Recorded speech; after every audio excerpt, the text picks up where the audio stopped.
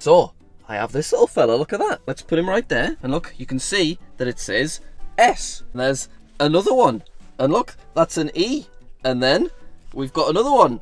And we've spelled the word sex. That's that's a lot of fun, isn't it? And then, okay. but don't worry, guys, because look, I've got a little Y. Ooh, sexy.